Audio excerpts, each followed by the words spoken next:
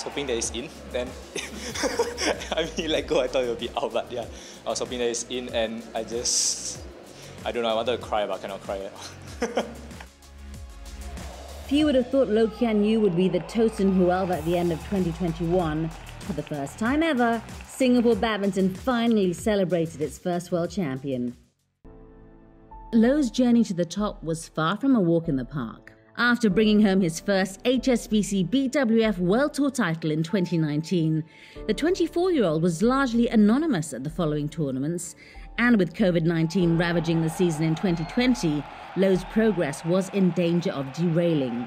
His below par performance at the Asian leg in Bangkok at the beginning of 2021 confirmed those fears. The two Super 1000 at Thailand, I think it was a good wake up call for me because it has been long since we last played in any tournament since 2020 All England. Yeah, for me, Spain Masters. Yeah, so uh, throughout the whole time, 2020 to 2021, I yeah, there wasn't a lot of tournament lah. So it's a good wake up call after that. So I think after Thailand leg, I trained a lot harder than before.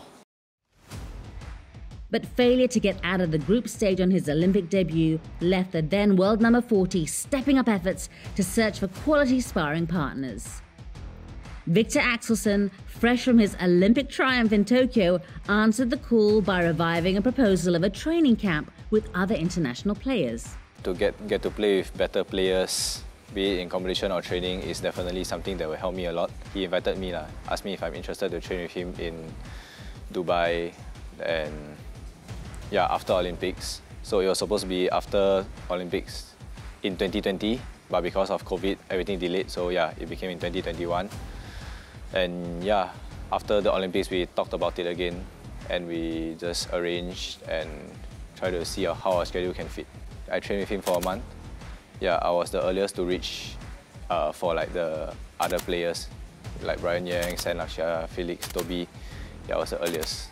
Over there, I do like one minute, half, like per drill.